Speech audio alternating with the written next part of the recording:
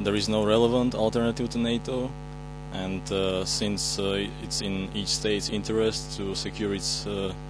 its uh, its position within the national or in international community, uh, I think it's reasonable for Slovakia to cooperate with NATO and